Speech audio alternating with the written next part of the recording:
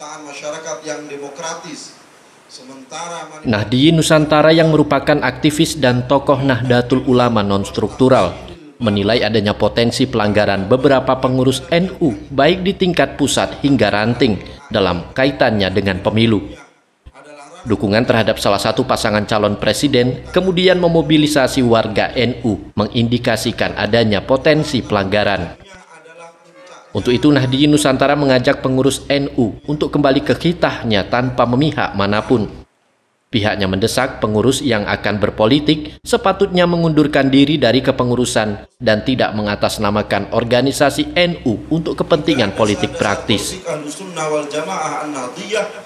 Bukan untuk mencari kemenangan-kemenangan dan kekuasaan Aktivis Nahdiyin Nusantara meminta agar para pengurus NU dari tingkat bawah sampai pusat untuk kembali mengingat kita NU bersikap netral secara keorganisasian. Jelas clear sebagai organisasi civil society, itu jelas clear.